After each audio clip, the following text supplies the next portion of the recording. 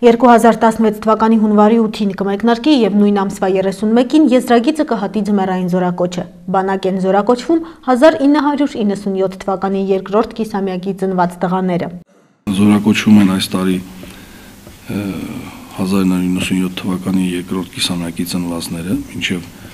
դեկտեմբերի 31-ը ծնվածները ներառյալ, բայց զորակոչվելու են 2016 թվականի հունվարի 8-ից մինչև հունվարի 31-ը զորակոչը ավարտվելու է հունվարի 31-ին։ Եվ մեկ ամսվա ընթացքում ես գտնում եմ, որ դա ճիշտ է, մեկ ամսվա ընթացքում զինակոչիկները կարողանան ուրեմն զորակոչվել եւ շատ արագ օպերատիվ կերպով կարողանան նախնական զինվորական պատրաստություն անցնել արդեն զորքերում շարքում։ Զորակոչի նախապատրաստական աշխատանքներն ընթացքի մեջ են։ Զինակոչիկներից ոմանք այս պահին գտնվում են ստացիոնար հետազոտման փուլում։ Սպասում ենք նրանց առողջական վիճակի վերաբերյալ ակտերին, որովհետեւ կարողանանք արդեն որոշենք, թե զինակոչիկների որ մասն են պիտանի ճանաչվելու տեղում, իսկ որ մասը պետք է ներկայացնենք կենտրոնական բժշկական հանձնաժողով։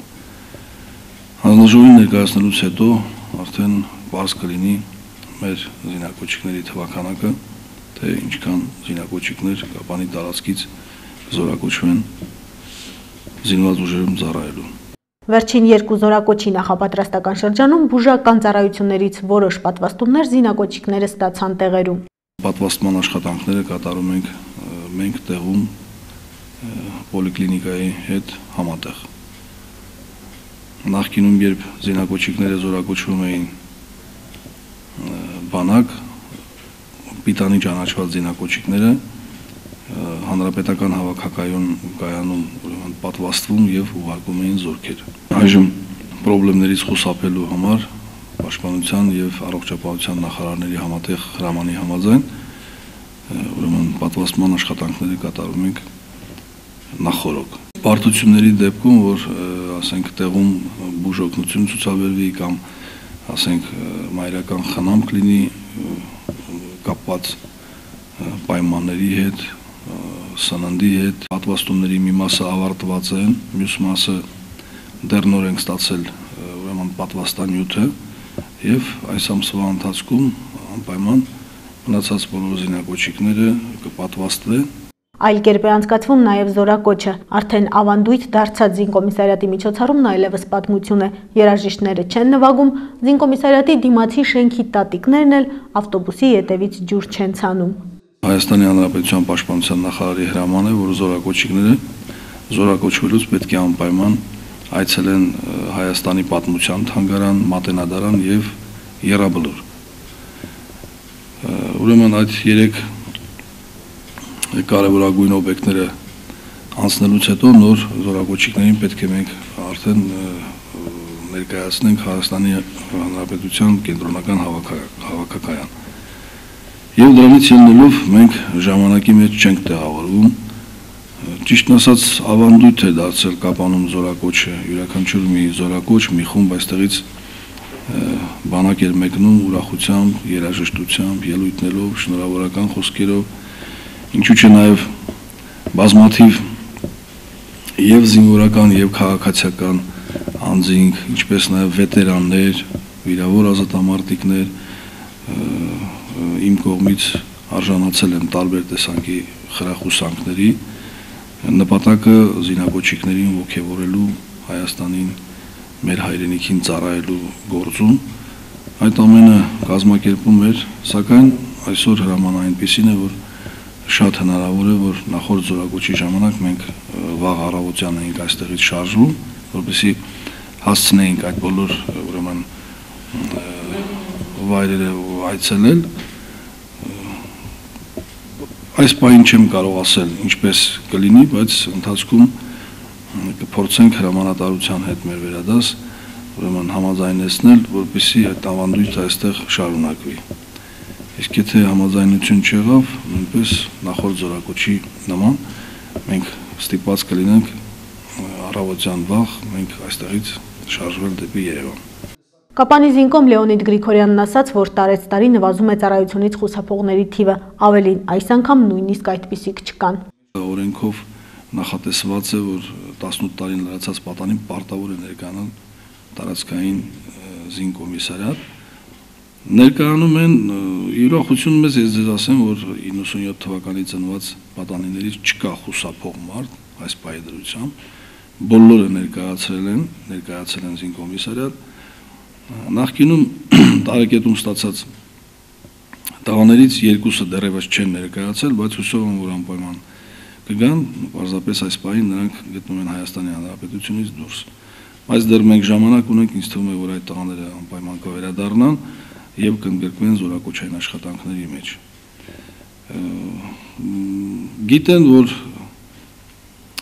ասենք առողջական վիճակի որևէ խնդրեմ ունենալու դեպքում պարտադիր զինկոմիսարիատի հանձնաժողովի կողմից կուղեգրվեն համապատասխան կլինիկաներ, իդեպ ասեմ այդ կլինիկաները ոչ թե մեր ցանկությամբ, այլ կառավարության որոշմամբ հաստատված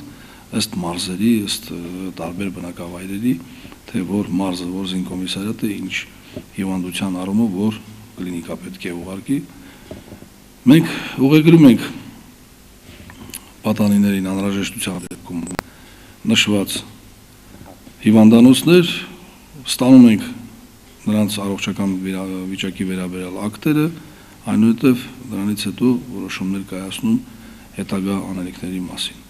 Բայց այս աշխատանքները արդեն սիստեմավորված են, մարդիկ արդեն նորմալ վերաբերվում են այս ամենին։ Եվ վերջո մենք պետք է գիտակցենք, որ մենք պետություն ենք, յուրաքանչյուր մի պետական առաջադրանք պետք է մոտենալ ուրեմն շատ լուրջ ձևով եւ կատարել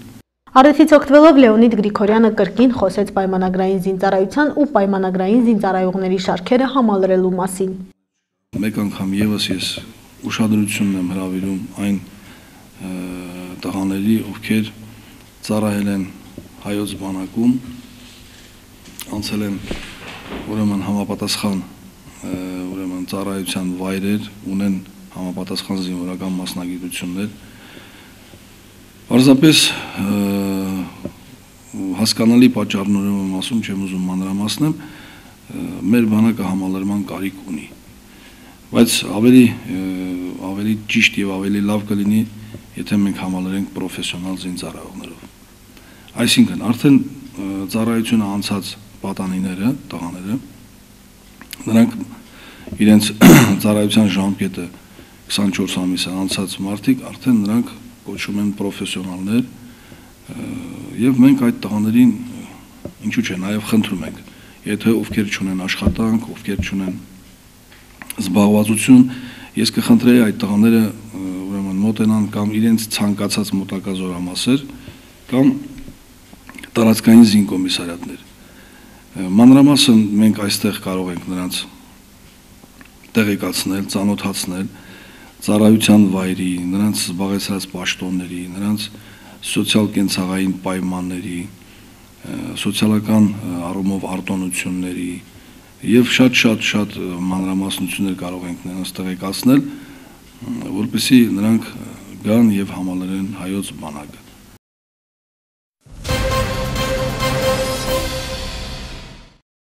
Կառավարության կողմից Կապանի վերելակների նորոգման համար հատկացված 25.8 միլիոն դրամը նպատակային է ծախսվել։ Այս մասին օրերս հայտարարեց Կապանի փոխքաղաքապետ Ռուդոլֆ Սարգսյանը։ Նորոգվել է 24 վերելակ, այն վերելակները, որոնք գրեթե ավերված վիճակում էին։ Պետբյուջեի միջոցներով Սյունիքի մարզին Կապան քաղաքին վերելակների նորոգման համար տրամադրվել է 25.8 միլիոն դրամ։ Առաջին փուլով 12 վերելակ վերանորոգվել էր, արդեն եւս 12-ը վերանորոգվել է, ընդհանուր 24 վերելակներ են վերանորոգվել, որոնք սահմանված կարգի համաձայն արդեն տեղ անվտանգության կենտրոն քաղաքապետանը կդիմի եւ նրանց դրական եզակացությունից հետո հանձնեն շահագործման։ Առաջին փուլի վերելակները արդեն իսկ հանձնել են շահագործման, երկրորդ փուլինը այս երկու օրվա մեջ այդ ամեն ինչը կկազմակերպվի եւ կհանձնի շահագործման։ Հրատապ ծրագրում ընդգրկված վերելակները առաջնահերթությունը տրվել է, որ երկար տարիները չեն գործում, այսինքն 15-20 տարուց ավելին այդ վերելակները չէին գործում։ Առաջնահերթությունը դրան է տրվել, իսկ մնացած այս երկու վերելակները ըստ դիմումների, ըստ բնակիչների բարձրացած խնդիրների, բայց ես ավելեմ, որ քաղաքապետի կարգադրությամբ ունենք ստեղծված աշխատանքային խումբ, նրանք բարբերաբար ուսումնասիրություններ են անում եւ նաեւ հաշվի առնում այդ ստեղծված աշխատանքային խմբի ուրեմն արձանագրած այդ դիրքորոշումը Առաջին 12 վերելակների նորոգման աշխատանքների ավարտին ներկային Սյունիքի մարզպետն ու Կապանի քաղաքապետը։ Հաջորդ 12-ի աշխատանքներն ավարտվել են օրերս, ասում են պատասխանատուները։ Այսպիսով Կապանում արկա 159 վերելակից 48-ի անվտանգությունը, պահպանությունն ու սպասարկումն իրականացնում է վերելակ արտադրական կոոպերատիվը։ Կապանում ունենք 159 159 վերելակներ որ այս 3 տարվա մեջ մենք կարողացել ենք թվով մոտ 50 վերելակներ վերանորոգել եւ նրանք արդեն այդ կազմակերպության կողմից, ովքեր որ վերանորոգվում են, նրանք նաեւ պարտավորում են վերելակ վերանորոգած վերելակները սպասարկել։ 50 50-ն արդեն սպասարկվում են։ Կապանում այսօր սակայն 48-ից ավելի վերելակներ են աշխատում, որոնք վերահսկողությունից դուրս են այն պատճառով, որ տվյալ թաղամասի համատիրությունը չունի պայմանագիր վերելակ արտադրական կոոպերատիվի հետ եւ փաստորեն տվյալ վերելակների խափանման կամ արտակարգ պատահարի դեպքում պատասխանատու կողմ էլ գոյություն չունի։